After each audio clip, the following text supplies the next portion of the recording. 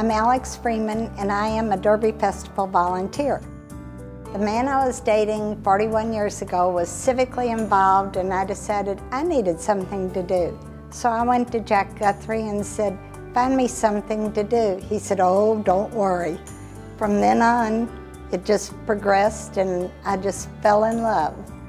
I first met Alex when she was on the board of directors and then we were thoroughbreds together and we've done the balloon races together. She's of course the bridge person for Thunder. She's done things that people don't even know about. She puts together the packets for the AT&T morning line to give to the radio stations every year. It's not a glamorous job, but you know, you can call Alex whether it's for glamour or whether it's for the scut work and she always shows up. I guess I've known her 20 years and I can think of nobody with more festival spirit. As everybody knows, up in the command center, we all operate with, with code names. And when Alex took over her duties down on the bridge, she got deemed with the name Bridge Witch. And uh, that went on for several years until I got a phone call from a fellow that was really upset. He was trying to get across the bridge and he had gotten stopped by Alex.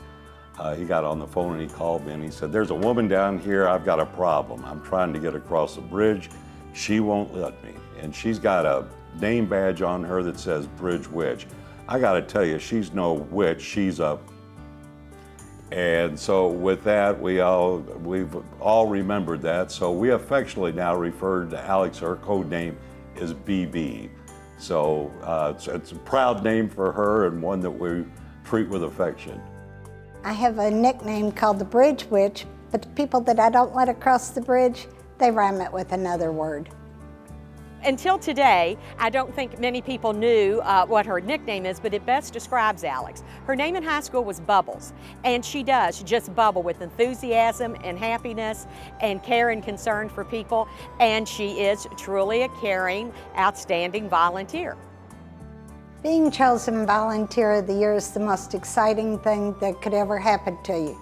Thank you to everyone that had anything to do with this nomination, to the festival staff, my husband who lets me play, and get involved people.